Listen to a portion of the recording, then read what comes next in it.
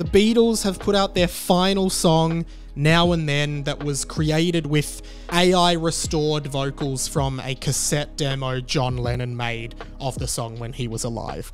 Uh, I listened to the song. I think it's incredible. I really like it. It's really fascinating for a number of reasons. And I remember when this was announced, I actually talked about it on this podcast. Um, and it's weird it's finally here. Obviously, a lot of Beatles chat on the pod recently because I went to see Paul McCartney and everything. But I guess for me, like, this song does feel so important in so many ways, and and I, and I will get to that. But you know, both Paul and Ringo, who are the only surviving Beatles, have vocals on it.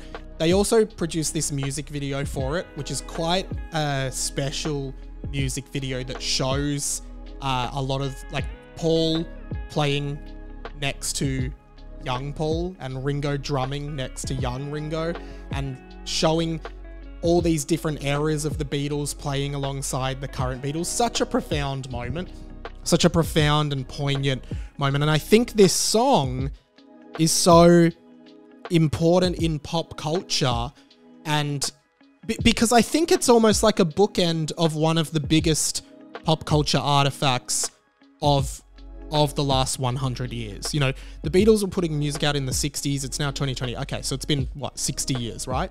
Like lyrical content of the song, which is now and then, now and then I miss you, you know, all these kind of things with that very ghostly sort of voice of John Lennon. And I find John Lennon's voice, maybe I, I, wouldn't have described it as such in the past, but I, I do think like you listen to songs like Imagine and some of his other songs, he does have this really I don't know, ethereal voice, like this ghostly kind of spiritual, spirity, shrill voice. Even though it's such a beautiful voice, like it, it has that those kind of tendencies. So when you listen to this song, it does kind of feel like, and I guess this is what it's supposed to evoke, or maybe we're all just seeing it evoke this because we want to. Like, it does feel like the ghost of John Lennon kind of speaking to you or speaking to the other Beatles or speaking about his life, you know?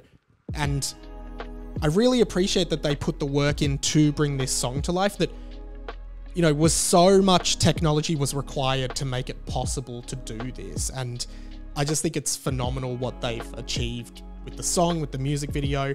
And you know, you watch the documentary, this little 12 minute documentary short they did in which they basically talk about how Peter Jackson, who did the Beatles Get Back documentary series on Disney Plus. It was him who developed this technology to strip the cassette demos, to strip the vocal and the piano. Um, and for people who don't work in sound, I guess, like if something's just on one track altogether, like vocal and piano all just on a cassette demo, in the past, like it's pretty much impossible to have separated that. But what Peter Jackson did was develop this technology that could do it. And I was speaking to my friend from work, Darcy, who's an audio engineer, and he was saying, I would have thought, I thought that would never be possible to do.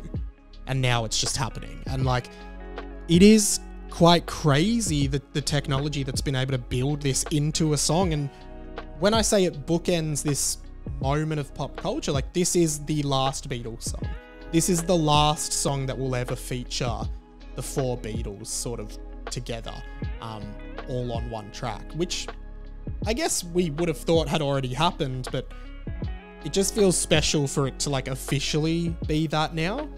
And I think lyrically, the song, yeah, just retroactively, even though John Lennon wrote this song not about this, but retroactively, it feels like all the Beatles singing and playing about their time together it's it's quite special and I'd be keen to know if you liked it or not. So let me know in the comments and everything like that. But yeah, such an incredible uh, closure to the saga of the Beatles. And obviously, like Paul and Ringo are still alive, but I think it's really special that they did this before uh, before one of them died as well. So yeah.